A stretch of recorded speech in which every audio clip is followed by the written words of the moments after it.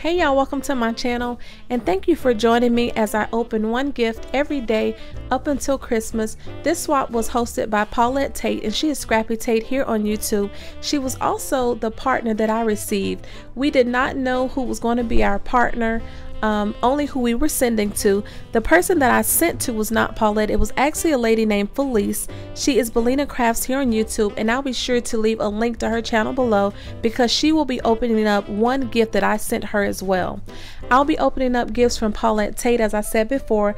This is the card that she sent me, and she does have a note inside of that. So thank you so much, Paulette. I have swapped with Paulette before, and she's also a veteran from the United States Air Force, retired. So I do appreciate appreciate you as well, Paulette. We've known each other for probably the, um, a year or so.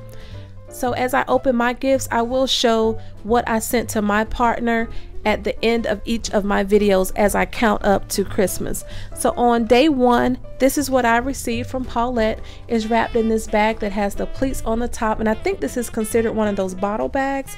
It has the number one there on the little stocking and it's enclosed with some um, red ribbon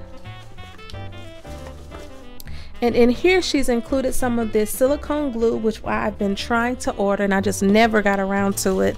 And there is also a fine tip, like one of those needle tip bottles in there. So thank you so much for those because I don't have either one of those. Please join me as I continue to open gifts up until Christmas Day. Thank y'all so much for watching and happy holidays. Bye.